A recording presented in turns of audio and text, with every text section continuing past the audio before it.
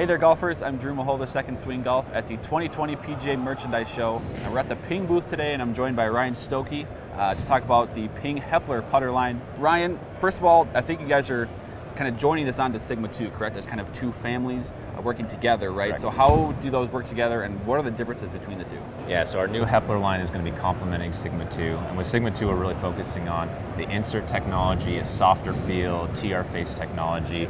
Uh, with Heppler, we're focusing on a little bit different message. This is built on being a firmer, more stable, solid feel as well as the way that we've designed them. We have really strong color blocking between the black and copper accents. Uh, helps with alignment, as well as when we get into the mallets within this family, using multi-material that allows us to really boost MOI, double the MOI uh, in many instances with different models within this line, and make some bigger, bolder, more dynamic model uh, mallet designs. Yeah, you mentioned that color kind of contrast between copper and the black that it presents really well at address. Now, getting into the materials now, because obviously the, to create that firm feel that you don't have the insert, so what are the materials that go into the Ping Heppler series? Yeah, so in the mid mallets and the mallets, um, we're utilizing a pressure cast aluminum material. Um, it's a lighter weight material. It allows us to uh, make a bolder section within that design, but due to being lighter, uh, we can use a lot of the other discretionary mass to get bigger perimeter weighting. And so we combine the aluminum with sole plates that are made of steel, allows us to get much higher MOI, better CG positioning,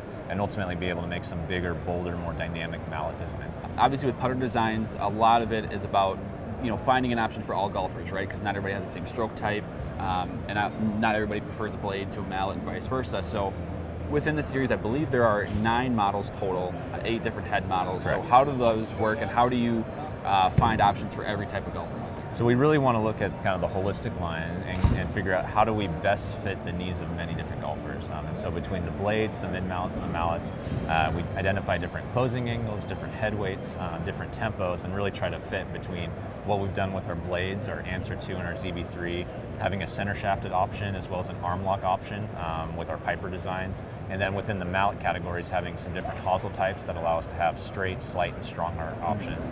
That really then fits into also having our adjustable length system and being able to hit on all the fitting archetypes that allow you to really uh, optimize that putter for every golfer.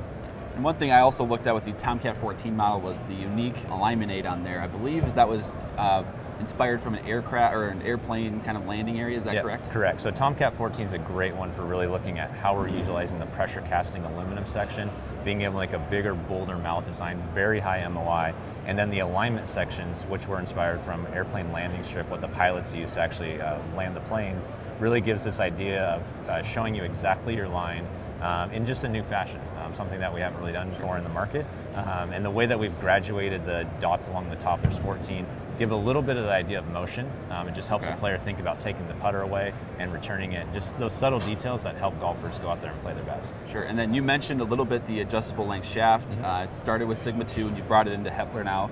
Uh, just from a fitting aspect, how many you know golfers out there really are playing the wrong length, and what are they missing out on if they're not getting fit for the right length? Yeah, so it's definitely a high percentage that are not playing the correct yeah. length, and what we've identified is really it's not there's not a standard. Not everybody's on a half inch or a quarter inch off of you know 35, 34 sure. and a half, um, and so it really helps with our system. You can dial it in exactly to what's your optimized length.